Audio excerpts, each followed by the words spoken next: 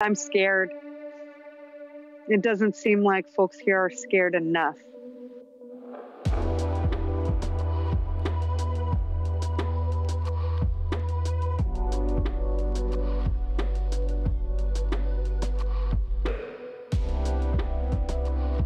In Hong Kong, Singapore, Taiwan, heavily affected by SARS, also Japan, wearing a mask has been a cultural thing for, for quite some years now. The SARS was really uh, had a big impact on, on people's mentality in Hong Kong and also other affected places in Asia.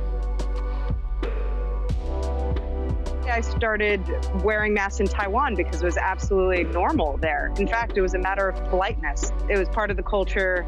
I wish it was part of this one. The Asian nations that had lived through SARS, they understand.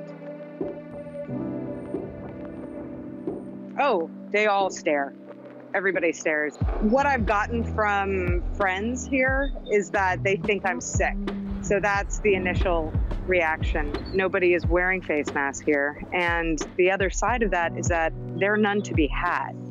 Germany is just trying to get face masks for their healthcare population at this point. Basically, all my Asian friends wear masks. Zero white friends, like Americans or Latino.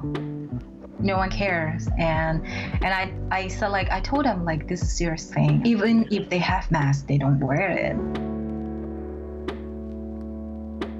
Wearing masks is something that deep in their mind uh, if you get sick you should wear masks for protecting yourself as well as the people. But in western countries of course it's not the case. Uh, people would think that you are spreading uh, the panic to the public.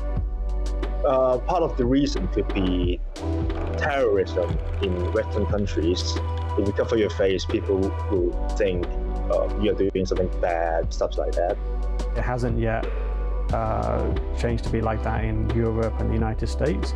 Maybe in the future there'll be a change, um, but they haven't had the experiences with SARS that, that people in Asia have had.